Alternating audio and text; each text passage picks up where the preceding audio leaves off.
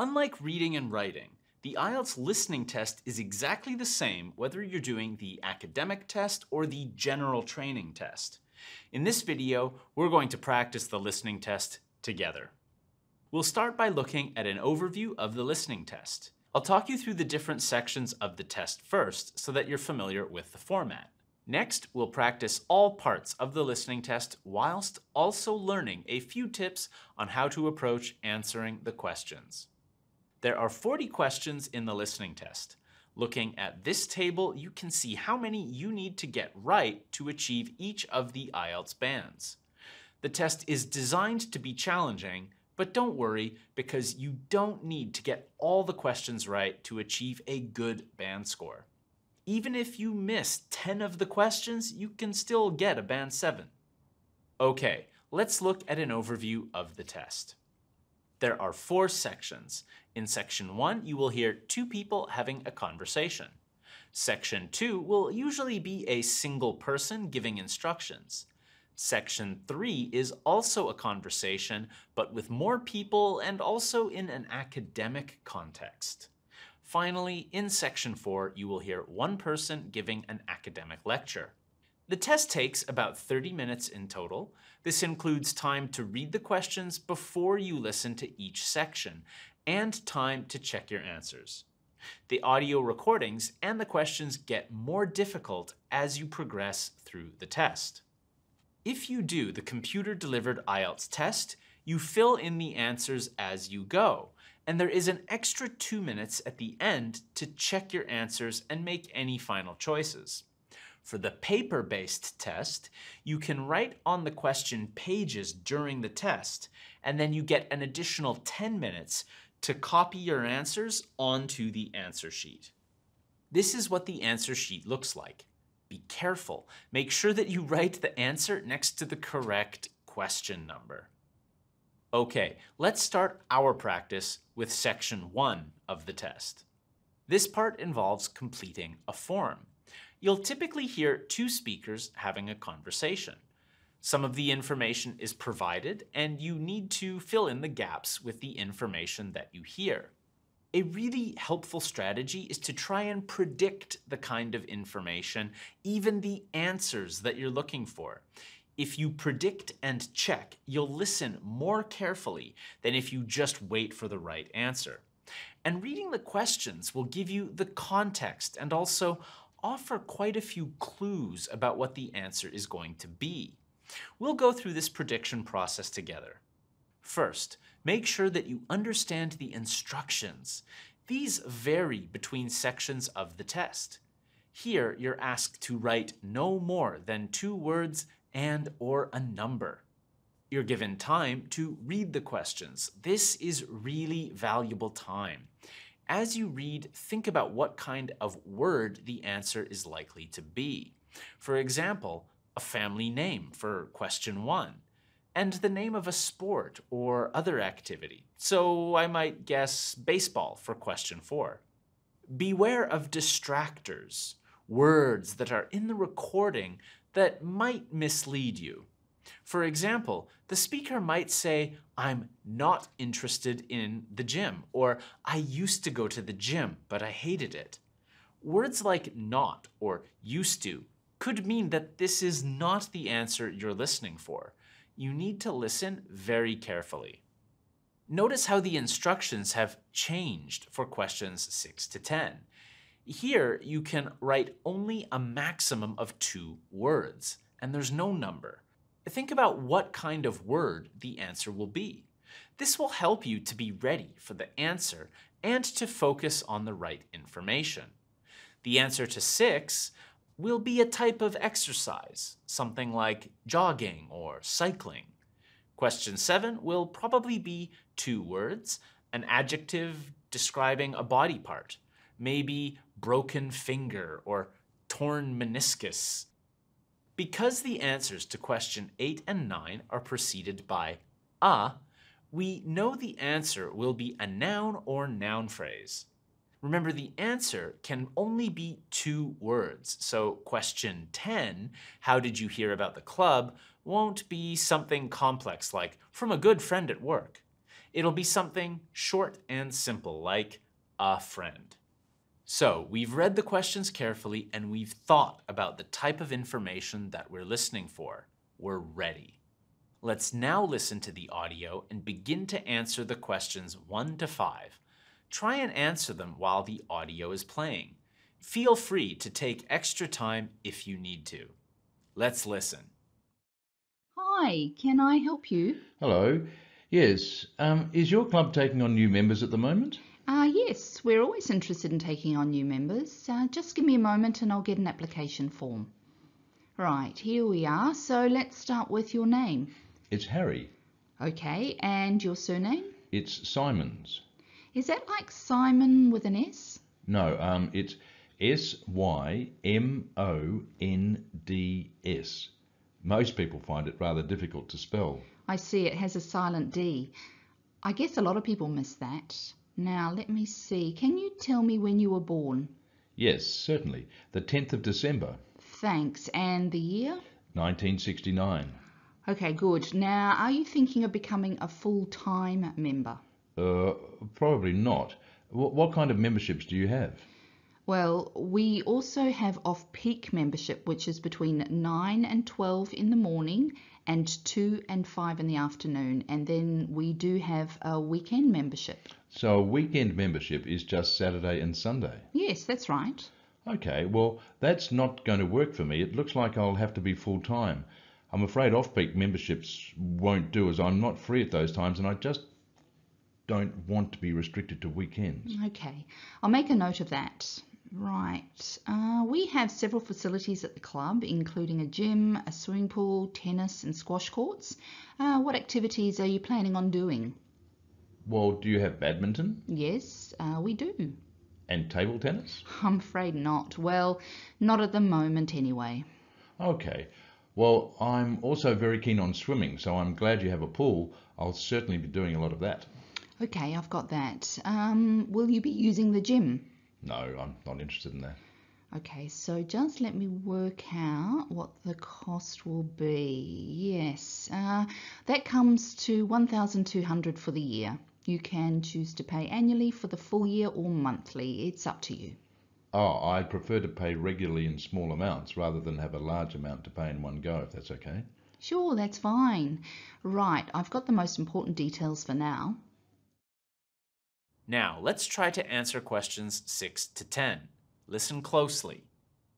So, I'd just like to ask you a few questions about your lifestyle, if that's okay with you. Yes, that's fine. Um, do you do any regular exercise at the moment? Yes, I do a bit. Good. And what do you do?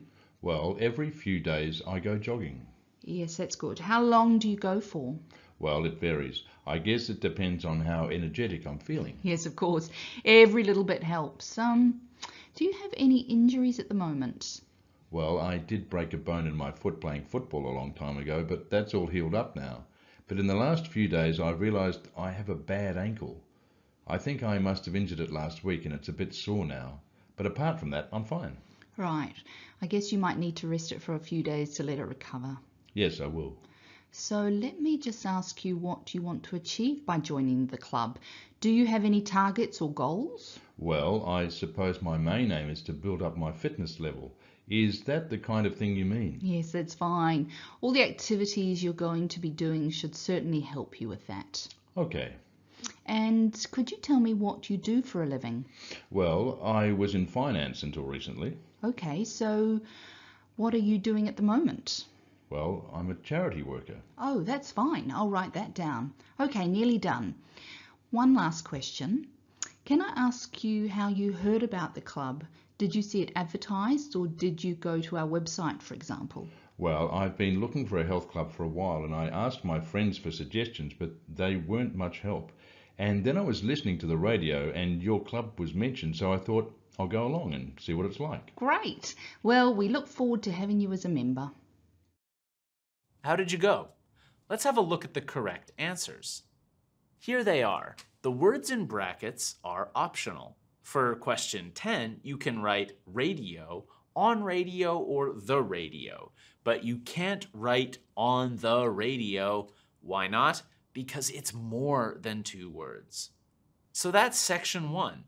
It's pretty straightforward. You read the questions carefully so you know what to listen for. You hear the answers and you write them down. If you got any questions wrong, it's a good idea. Yes, it's a great idea to go back and listen again and listen carefully for the correct answer. Try to find where you went wrong and think about how you can improve next time.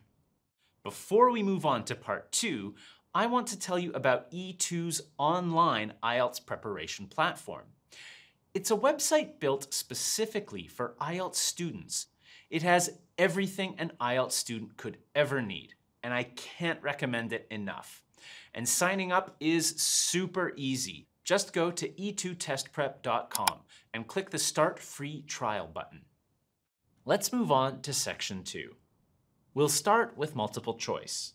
You'll need to quickly read the questions, listen carefully, and choose the correct answer.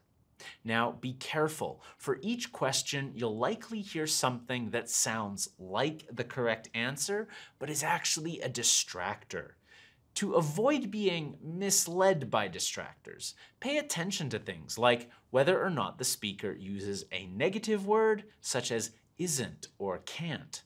Or for instance, for question 13, you might hear something like, the event will begin at 7.45, but the guests will start arriving 30 minutes before that.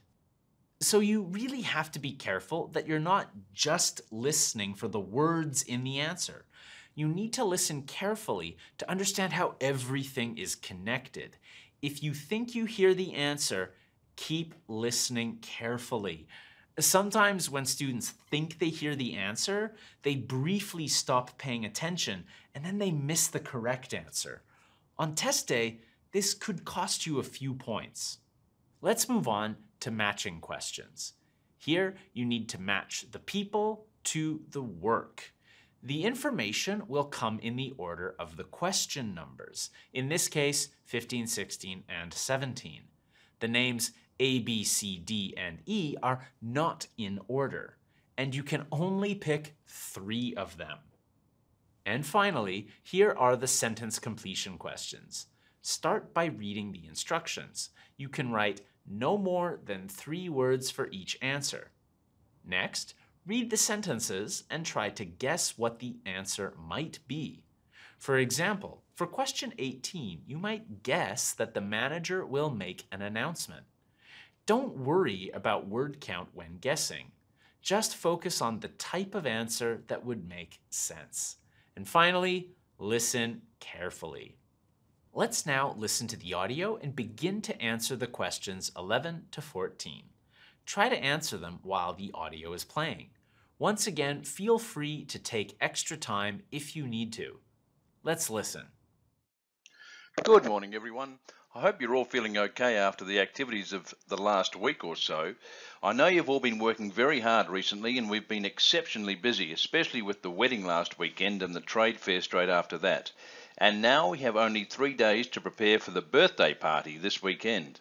The events recently have gone extremely well and the hotel is beginning to get a very good reputation, so we need to keep it up.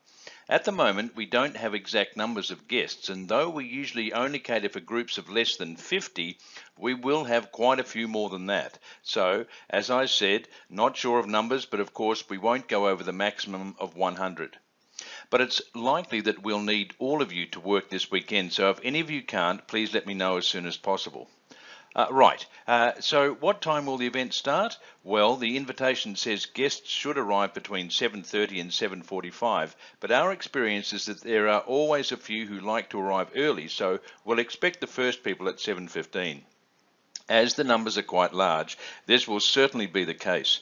Food will be served at around 8.30 and then, depending on how long the meal takes, the entertainment will start about two hours later. Now for this, we were expecting expecting a live band for the occasion, which is always fun, but apparently this has been cancelled due to illness. So the hosts know someone who is a comedian who will be replacing the band. We had hoped that the resident magician who worked here through the summer would be able to help out, but they weren't keen on that idea. Now let's try to answer questions 15 to 17. Listen closely. So I'd just like to go through who's doing what when the guests arrive, and I think we'll make a few changes from the last party held here. If I remember correctly, it was Olav who coordinated the task of providing the guests with drinks, or was it Ahmed? Um, I'm not sure, but Gary asked to do it this time, so that will be his job. There's been no decision yet on what the drinks are going to be, but I hope they decide soon in case we need to order something special. Now, for receiving the guests' coats and hats, it's important we have someone experienced doing this as we don't want guests losing their belongings. And Monica, last time this was your responsibility. Susan, I know you wanted to do this, but as the numbers are quite high for this event, I won't make a change here. Right. Now, last time there was some confusion as to where guests were supposed to go once they had deposited their things, and we had guests roaming around the whole hotel. So Ahmed and Olav, I believe you discussed the problems with Susan and thought she would be good at guiding guests after they had arrived, and I'm fine with that. Now let's try to answer questions 18 to 20. Let's listen. Right, and now for some general instructions. Once the guests have arrived, they will be in and around the lounge area, and then at around 8.30 we need to get them to move to the restaurant for their meal. This often proves difficult and can take a long time, so I will ring a bell so that everyone knows it's time to eat. Hopefully this will speed things up a bit. Also, for this event there'll be a seating plan, so the guests won't be able to decide for themselves where to sit. They'll have to sit according to the plan. There'll be a plan on each table and I've been thinking where to put the master plan so everyone can view it before they enter the restaurant. So they'll be spending quite a while in the lounge. I've decided to also put a plan there. This should speed up the start of their meal.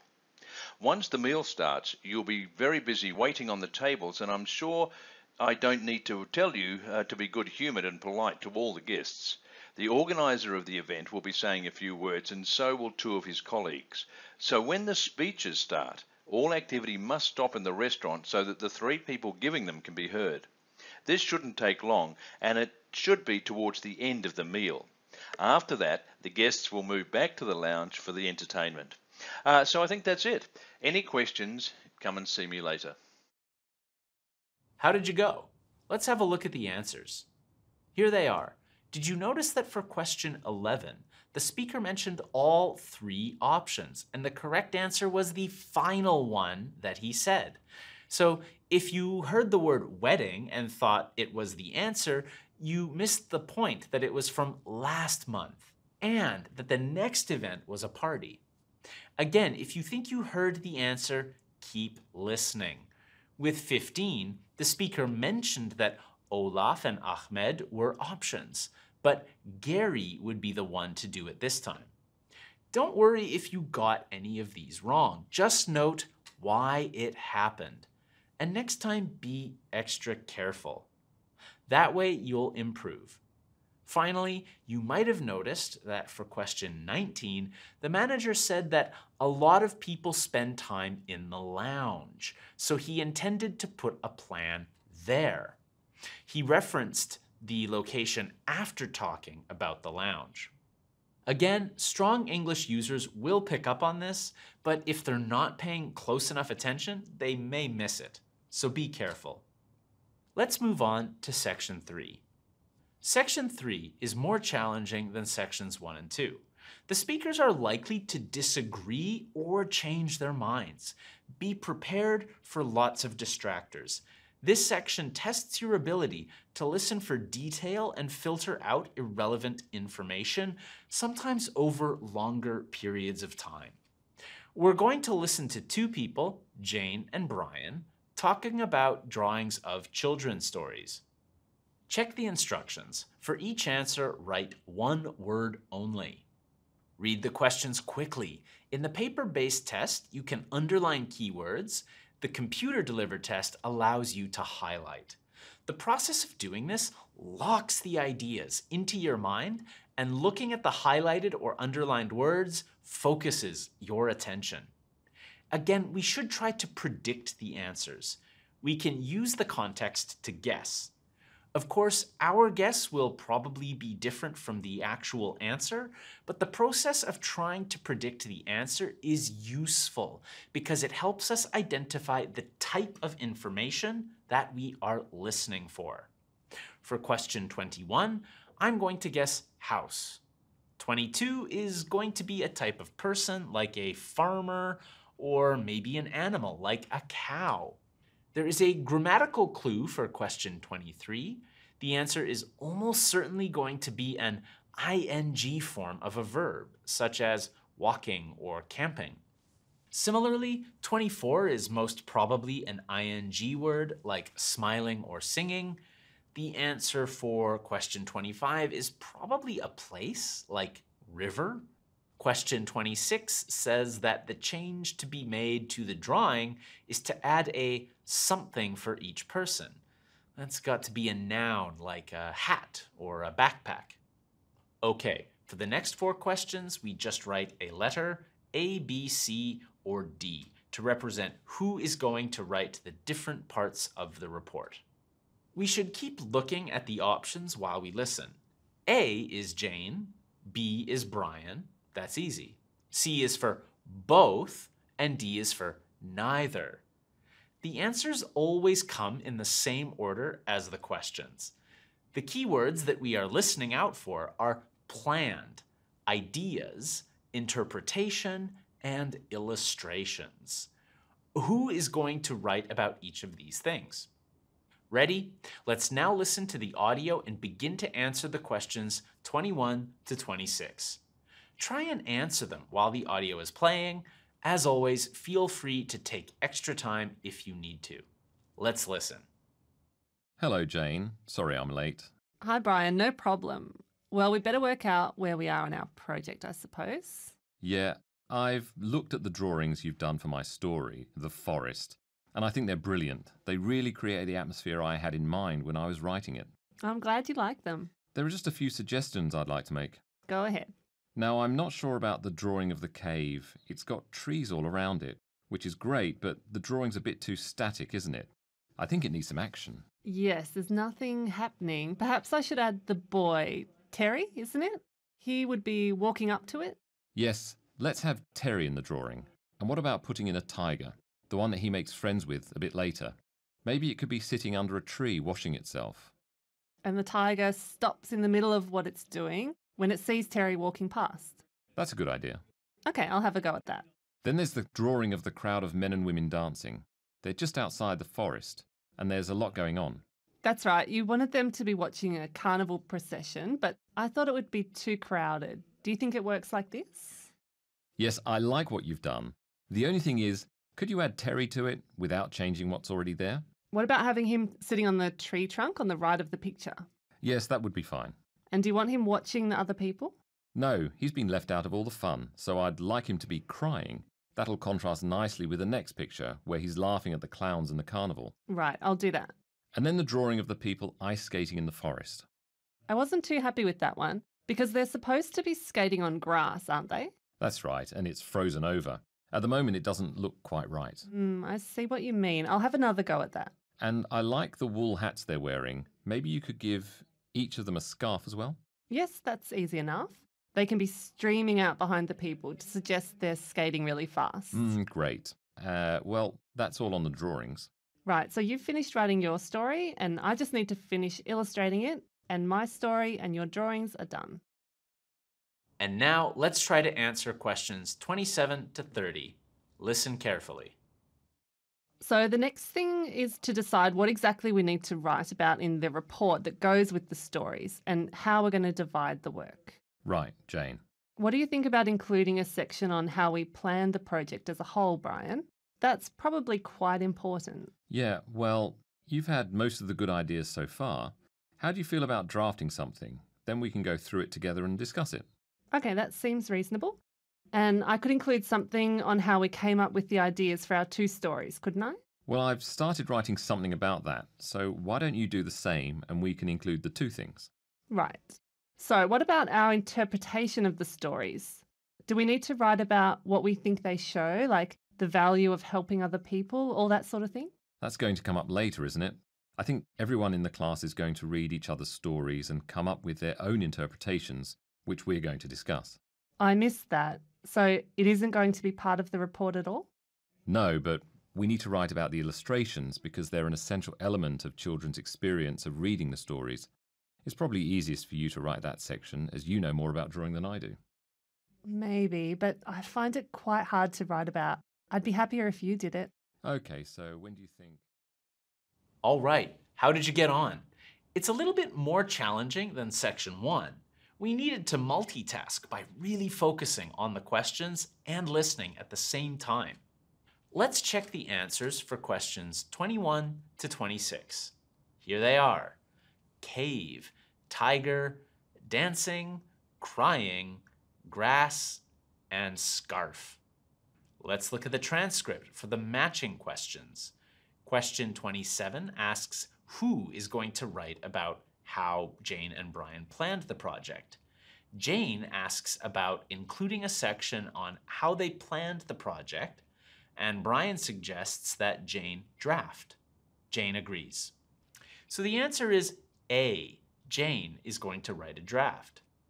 Question 28 asks who is going to write about how they had their ideas for the stories?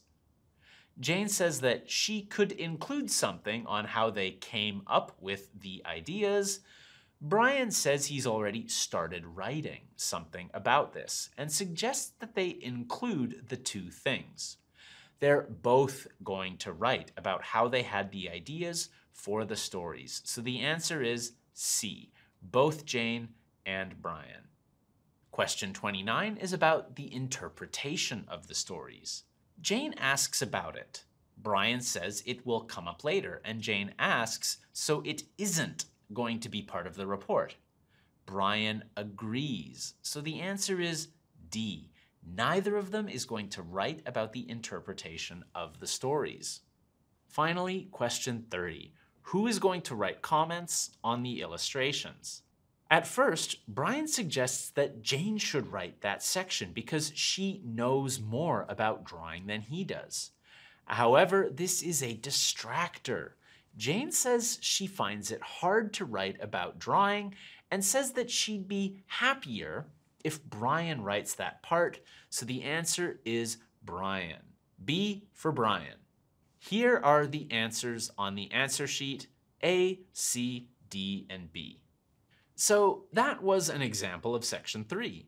It can be quite intensive going through in such detail, but you're doing really well. Analyzing the way that the answers are presented in the audio recordings helps you to know what to expect in your next practice and in the real IELTS test. Remember, if you're having trouble with any of these questions, you can learn E2 strategies at e2testprep.com.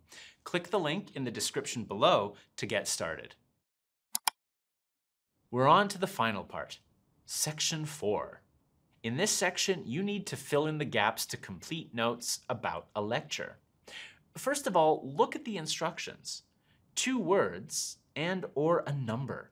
So you can answer with two words and a number, one word and a number, or a number, or two words, or one word. Those are all possibilities.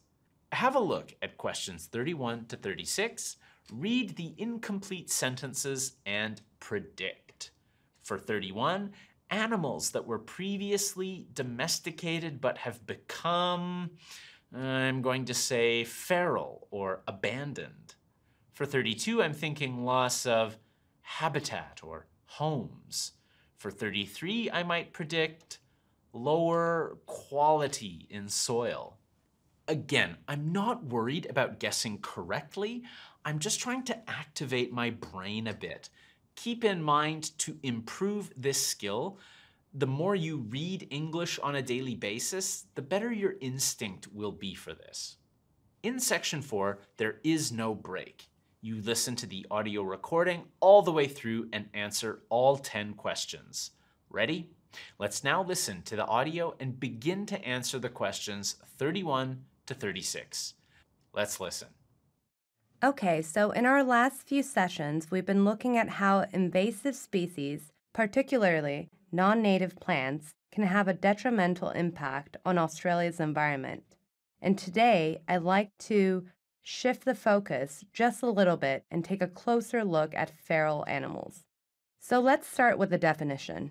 A feral animal is essentially one that was once a domestic breed but has escaped, as it were, and returned to its wild state. Some of the most common examples are horses, pigs, and though they might not immediately spring to mind, camels as well. Now, though these animals may seem harmless, when they multiply in large numbers and spread across wilderness areas, the results can be catastrophic. One of the major impacts can be seen on the land itself. Great numbers of feral animals, like horses and deer, graze and trample the earth. In doing so, they remove vegetation and root systems. All those hundreds of feet, or hooves rather, compact the ground, which in turn can reduce water infiltration as well as the nutrient levels in the soil. Overgrazing by large groups of herbivores can result in erosion, which in some cases can be almost impossible to repair. As well as this impact on the land, there is, of course, the huge threat that feral species pose to native ones. Not only do feral species prey on the native wildlife, but they also compete with them for food and shelter, often taking over burrows and dens of other animals.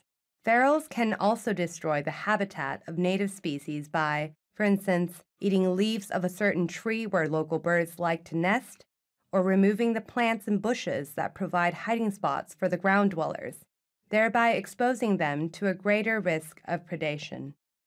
Another issue is the proliferation of infectious diseases that can occur between species. This is of particular concern to farmers, whose livestock are at risk of infection and reinfection, despite their best efforts to control such outbreaks. This brings us to possibly the greatest threat to Australia's environment the feral cat. Having already caused the extinction of many native birds and small to medium sized mammals, the feral cat still threatens over 100 native species. It is a highly skilled predator, with each individual capable of consuming between 5 and a staggering 30 animals in a single day.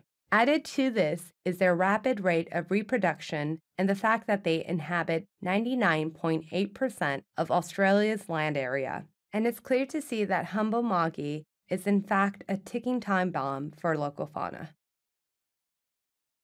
Let's do questions 37 to 40 now.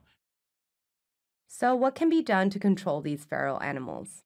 Conventional methods have long been utilized by governments and landowners alike, with mixed success. Perhaps the oldest form of these is the use of fences designed to keep the pests out of the crops or away from stock. While these can manage to keep feral invaders out, providing they're maintained and structurally sound, this option is really only successful when it comes to excluding pests from small areas, and their effectiveness tends to diminish as the space increases. Cost wise, this can also be a prohibitively expensive option in some cases. Trapping is another method and has proven useful to some extent, but this too has its limitations, since some animals are a bit reluctant to go into the trap, even with tasty morsels to encourage them in. This leaves more drastic options like baiting, which basically involves using a particular poison designed to be eaten by the feral animals. Obviously, this too can be problematic, since non target animals may consume them. Surprisingly, and perhaps somewhat counterintuitively, using helicopters to shoot from is considered to be among the most humane methods of control. This method, of course, is only suitable for certain large species in the outback. Clearly, the problems we're grappling with here, and indeed around the world, are complex and contentious. There is, of course, opposition from activists and the general public, to some degree, to when it comes to matters such as this. They raise legitimate questions about cruelty and the hypocrisy of culling some animals to protect others. So, on the one hand, there's an urgent need to protect endangered and vulnerable native species and on the other, there's the perspective of the invading species. Let's look at the answers. wild vegetation, nutrient, levels, shelter, diseases, reproduction, fences, maintained, reluctant, and helicopters. There are some long words there. Remember, you don't need to get all of them. Section 4 is the hardest part of the test, and even one or two correct answers in this section can make a difference to your overall band score. Well, we're done. The listening test takes a lot of concentration and you need to keep very focused on the task at hand. It's the first test that you'll do on IELTS test day, which is good because your mind will be at its freshest. Don't beat yourself up if you missed some of the answers or if you found it very challenging. However, as you know, the real key to facing these challenges and maximizing your potential is more practice.